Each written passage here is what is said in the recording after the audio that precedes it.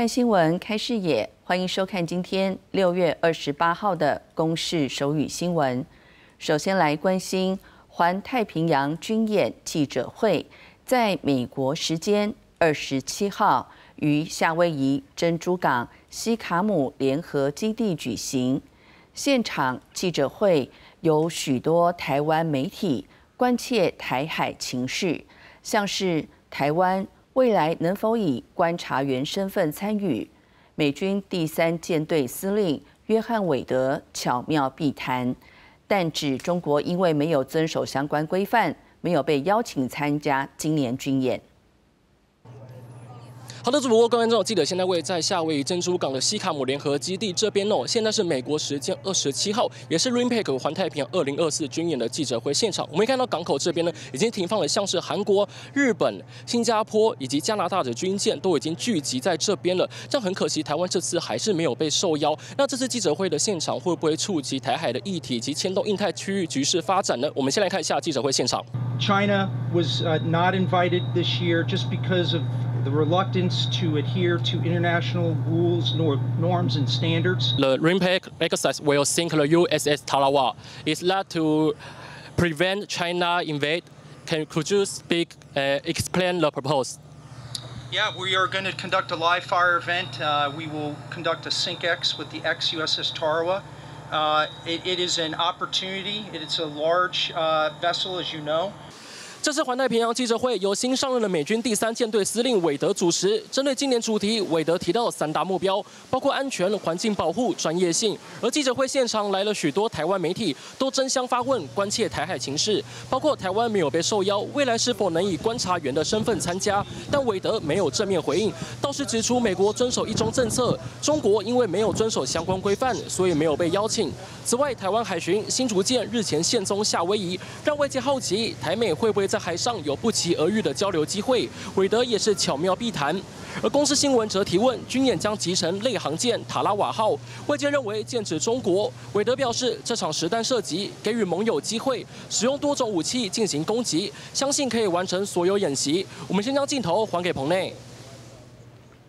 读报时间来看到，中国时报是行政院昨天核定二零二五年政府行政机关办公日历表。总放假日数为一百一十五天，而三天以上连假的假期共有六个。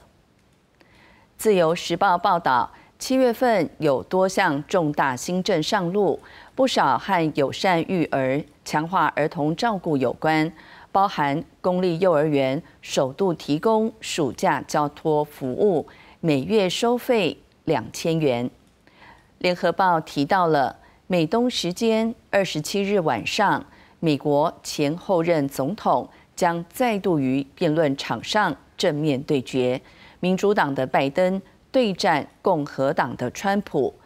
美联社民调指，近六成美国人关心这场辩论。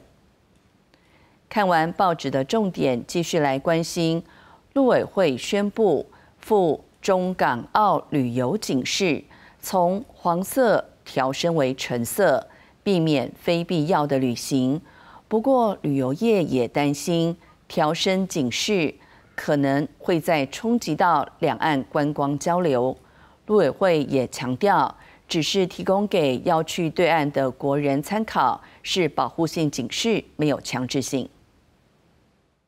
即日起调升中国大陆及香港、澳门旅游警示灯为橙色灯号。如果政府没有因应状况去提醒国人注意危险讯号的话，是政府失职。陆委会二十七号宣布赴中港澳旅游警示调升为橙色，避免非必要旅行。还指出，八旗文化总编复查跟台湾民族党副主席杨志渊都是被中共以分裂国家名义逮捕，提醒国人赴中港澳前要多考量。但也强调，并非反制中方日前提出的惩毒二十二调。意见，不过调升旅游警示，先前规划好的旅行团六月可复路，旅游业担心再受冲击。如果他要发射橙色警戒，要先把禁禁团令拿掉。哪有下午放人家回？又又是橙色警戒，又是叫旅行社不准出团，然后又是禁团令。两岸紧张关系还未降温，共军持续扰台。国防部公布二十四小时内侦获三十五架次共机、七艘次共舰在台海周边活动，其中三十三架次共机逾越海峡中线，从北中南东四面扰台。最近只离台北不到三十海里，而完比四十三海里。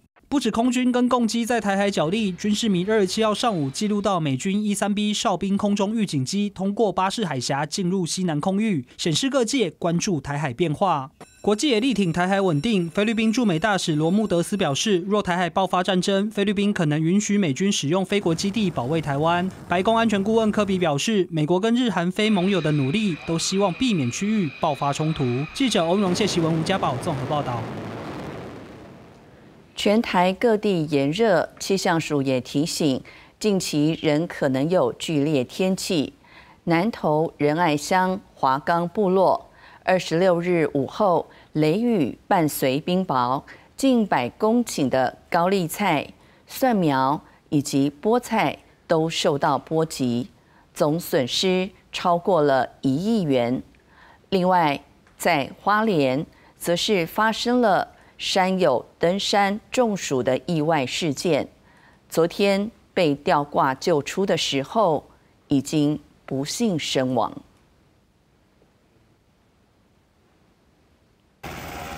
空警总队出动到瓦拉米步道进行救援，阳性山友被发现救出时疑似中暑、体力不支、出现心跳加快等症状，但由于天候不佳，直到二十七号上午再度吊挂成功，但他已不幸去世。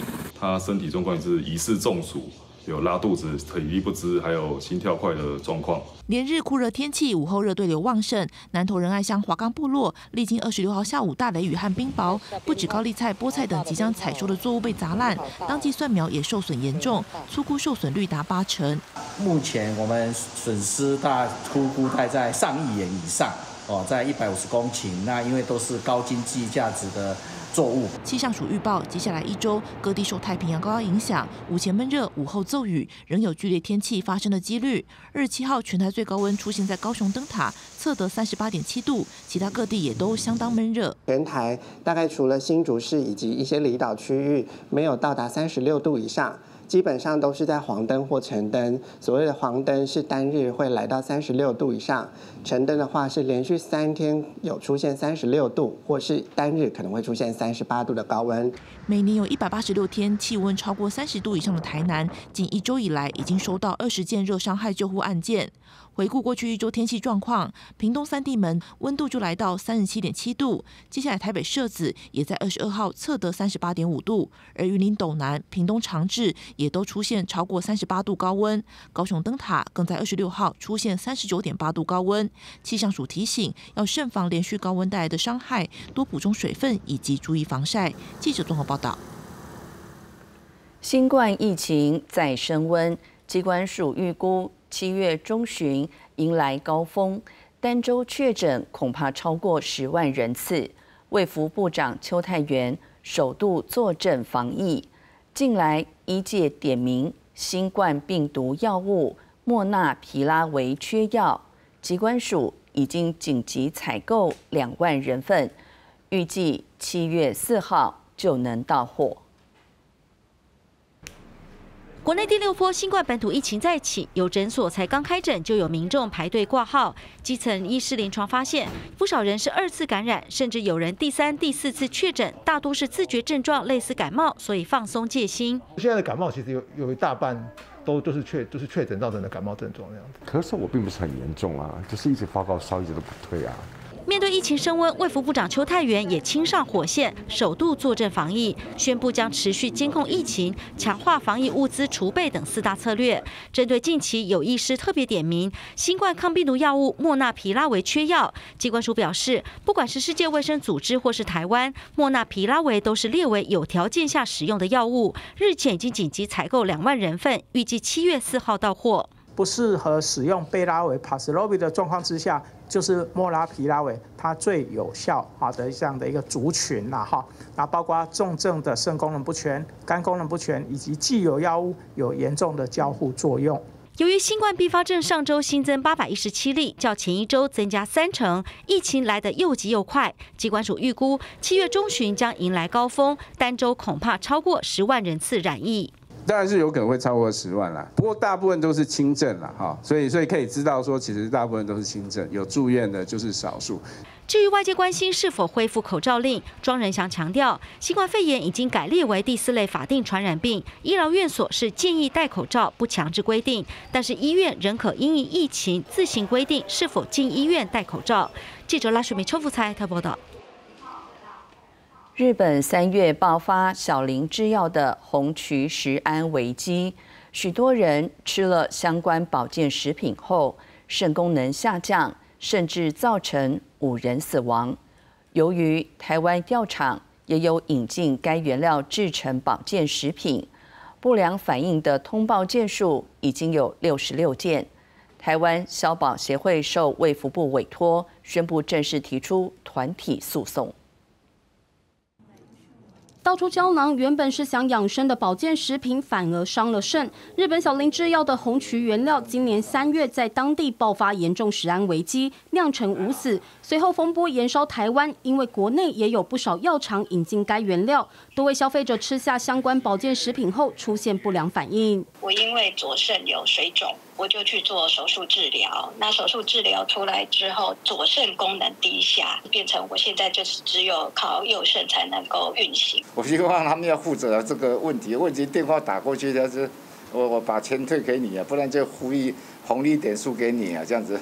郑先生原本肾功能正常，吃了含该原料的红曲保健食品后，肾丝球过滤率开始出现红字。截至十四号为止，台湾因食用含该原料的保健食品而产生不良反应的通报件数已有六十六件。台湾小保协会受卫福部委托，二十七号宣布将提出团体诉讼。受害者呢，呃，本身呢是跟卫福部这边来申诉，然后递资料，然后由卫福部委托我们。我们的损害可能不是立即的。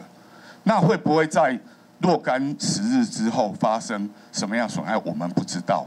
我们能够做的就是提起这样的团体诉讼，来为消费者争取该有的权利。消保协会提醒，要参与团送的消费者需提供争议产品的实物或空瓶及购买证明，并填写团送申请书，于七月底前完成申请。有一部分消费者已遇到药厂态度消极、警愿退费的状况。消保协会表示，若业者没有清偿能力，不排除跨海向日本小林制药求偿。记者陈焕宇、孟昭全高雄报道。新青安优惠房贷，财政部公布最新的防弊措施，除了在贷前侦审、贷后管理和稽查，以及新户签署。自助窃结书外，另外还新增了现代一次的条款。此外，经过八大公股行库追查，已经抓出有数百户疑似人头户或转售转租的情况。政府推出新青安优惠房贷，但却衍生出转租人头户等问题。日前，财政部要求八大公股行库进行追查，现在传出部分行库调查后，抓出数百户疑似人头户或转售转租的情况。财政部将在二十八号周五再找公股行库开会，要求尽速追查回报清查结果。绝大部分都是没有问题的。有问题的都是极少数的，顶多一趴两趴，顶就顶多了哈，大概是这样。根据财政部最新的统计，新青安去年八月一号上路至今年五月底，累计核贷五万七千九百八十户，核贷金额高达四千两百八十一亿多元。核贷区域以新北市的百分之十九点九五占最多，再来是高雄市以及台中市。进一步看房屋买卖总价，则是一千五百万元以下占比达百分之七十八点二。而贷款年数以三十一年到四十年最多达到五成。为了防堵新青安遭到不当滥用，财政部要求各行库强化贷前贷后管理机制，新贷户也必须签自助切结书，并新增限贷一次的条款。也就是去年八月一号之后，经银行核贷新青安贷款者，从今年六月二十七号起不得再次申贷。新贷户的真题，请他们要。提出自助的切结书，现贷一次哦，因为我们希望说这个贷款哦，是真的给有需要的民众来使用。加强管控的部分哦，我们会透过政府的资料去勾稽有没有符合自助的这样的。情形哦，阮清华表示，目前不会有排富和年纪限制，但会在滚动检讨政策，并强调对新青安任何违规的行为绝对是零容忍，一定会查到底，请身代户不要以身试法。记者魏尔玉、陈昌伟特别报道。台北市私立东山高中附设国中部国一新生入学考试三月放榜，但是到上周。却有一百多位学生被通知无法就读，让家长、学生无法接受，到市议会陈情，校长则到场道歉，承诺补偿。教育局表示，招生作业疏失，依法可开罚三十万至一百五十万元。三月十一号放榜，考上东山高中附设国中部的小六生开心拍下照片，也依照学校通知到学校缴保证金、量身定做制服，还领回暑假作业。但就在上周五，突然有一百四十二位新生被通知，因为教育局不同意增班，无法就读，退回已经缴的两万两千元注册费外，另外再给两万两千元支票作为补偿。那天下午跟他通知，可是晚上的时候他还在写暑假作业。大家知道为什么吗？他觉得一个学校不可能这么没有诚信。这次发生的事件，扼杀的是孩子对学校、对社会的信任。到现在还在说分数疏失，应该是孩子们要承担的吗？家长表示，有学生因为考上东山就没有再去考其他私校，也有学生因此放弃了户籍所在的满额公立学校，但现在也可能回不去，受到的伤害难以弥补。校方解释，这是因为向教育局争取增班，想努力到最后一刻，承诺将开设专门窗口给予学生补偿。我们很不舍这些孩子，哦，不能留在东山，所以我们也努力了很久，到最后实在没有办法。所以真的很抱歉，对家长这造成这样的一个困扰。台北市教育局表示，在四月中旬和六月初多开协调会，向校方明确表明不能超收。对于这一次招生疏失涉及上百人，将提报私校咨询委员会来进行讨论，从重惩处。减收或停止部分班级或全部班级的招生，包括了承办人、主任、校长，哈，都可以依照私校法八十条进行罚款。罚款金额从三十万到一百五十万不等。至于受影响学生，双北教育局将建立协助，回到原学区公立学校就读，依照三月原分发结果入学。若当时学生未登记公立学校，也会协助改分发到其他公立学校。记者徐亚张国良台报道。有不少租屋族会上网搜寻适合物件，但越来越多诈骗集团盗用照片，假冒房东。或是用优惠价格进行刊登，要求看屋前先付款等等，提醒租客看屋时不要缴任何费用，未正式签约前也别提供个资。网络发达，民众想找租屋处，不用再像过去一样在外奔波找刊登的看板，只要动动手指上网搜寻，就可以看到各种房型的物件。虽然省下不少时间，但也要小心，有越来越多的诈骗集团寄生在租屋社团当中。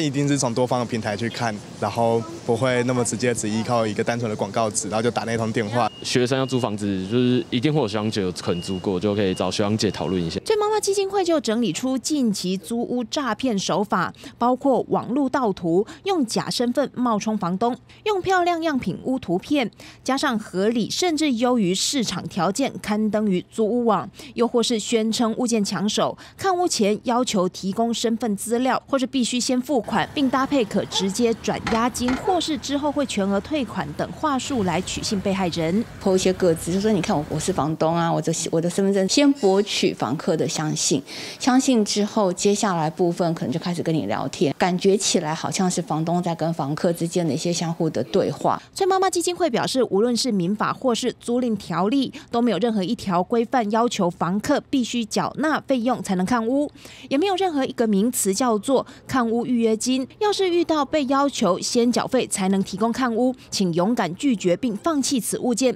另外，也要善用以图搜图的功能，确认物件是否被盗图使用。未正式签约前，也不要提供任何的个人资料，才能免于受骗。记者吴雅瑜、陈昌维特别报道。巴黎奥运，台湾射箭代表队再度取得满额席位。男团由冬奥国手汤志军领军，搭配林子祥、戴宇轩；而女团则是由第四度参加奥运的雷千莹带领杭州亚运队友邱艺晴以及十八岁的李彩琪，期待再创佳绩。甫拿到奥运资格的喜悦还在，雷千莹、邱意晴、李彩琪、汤志军、戴宇轩和林子祥出席国际运动品牌赞助活动，手持反曲弓，摆出胜利姿势。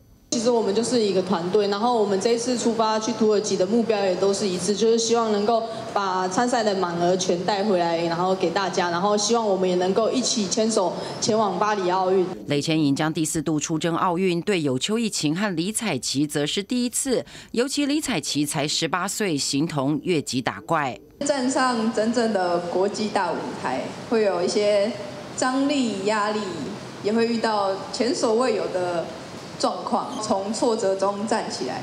近期就是保持我们的默契与提升我们的气势。上届冬奥男团银牌的班底汤志军将带领首次前进奥运的戴宇轩和林子祥。他说，戴宇轩是同校学弟，林子祥也曾在国际赛搭配，三人就像兄弟。台湾三少的最大优势就是年轻，最大的优势就是我们什么都不怕，我们就是冲。配合起来还不错，这样子，然后准备参加奥运，我们是准备好的。我相信我们一定会赢的，一定会努力站上站上去那个颁奖台。连续六届奥运，台湾在射箭项目满员出战。出国前将在台湾透过模拟赛保持节奏。而外传雷千莹在巴黎奥运后将退役，他只说把每场比赛当最后一场拼，也对学弟妹们说，不管遇到对手厉害与否，不用预设结果，只要把平常准备发挥出来，享受过程，就会有很多收获。记者林小慧、沈志明台北报道。宜兰县月明国中小十五名师生。七月五日要驾驶重型帆船从苏澳港出发，绕台湾一圈，航程大约二十八天。过程中也邀请全台共三十六所临海学校五百多名师生上船体验，一起打捞海洋垃圾。学生驾驶小型帆船在海上练习学习航海技术，并了解海况。宜兰县民国中小共十五名师生，预计七月五日驾驶重型帆船从苏澳港出发，先到基隆，再到澎湖等离岛绕行台湾一圈。孩子们先透过操驾小型帆船熟悉海洋，总共是要二十八天，啊，一千九百三十九公里，大概是一千零四十七海里。这次航行航程约二十八天，共一千九百三十八公里。国家海洋研究院也派五名科学家一起登船，携带海洋浮标、温升研仪等仪器，和学生一起监测、进行海洋热色、海水表面塑胶微粒、海水酸碱度及溶氧量等调查，深入了解海洋污染情形。然后呢，他们会携带价值两百五十万的科学仪器。然后上就是上我们的帆船，跟着小朋友一起航行，在过过程中呢，会教导孩子们去观测洋流、波浪。海水的水质，还有湖菌的特性等等。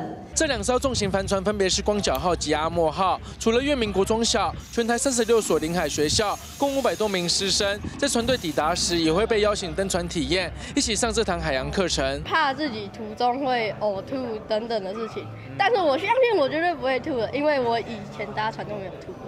因为没有过这样的经验以及体验，会让我觉得很好奇，也会感觉很紧张。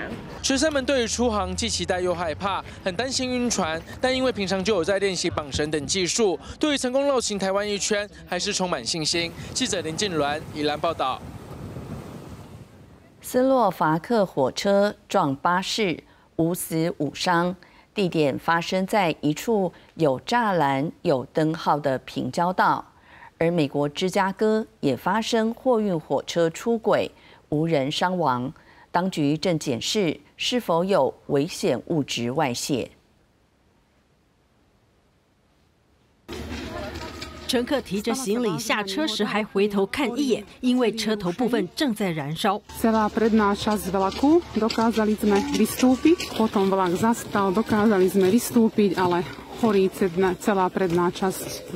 这班从捷克布拉格开往匈牙利布达佩斯的跨国列车，在斯洛伐克首都布拉蒂斯拉瓦以东约一百一十公里的新扎姆基镇与一辆巴士相撞，造成死伤。当局表示，事故地点发生在一处有栅栏、有灯号的平交道，事故原因调查中。美国芝加哥郊区发生货运火车行经马特森村时出轨，当局为确保居民安全，下令事发地点一点六公里范围的居民撤离。So initially the products were identified as liquid petroleum gas, LPG, propane. Those cars were had only residual amounts in them, which is a very small amount. We again had no readings on any of our monitoring equipment of any hazards in the air. 液化石油气无色无味，吸入会导致嗜睡、呼吸道敏感，长期接触会神经受损、流鼻血等。由于运载量很少，加上判断油气已经挥发到空气中，对社区居民没有危害，随后解除疏散令。公视新闻黄韵玲编译。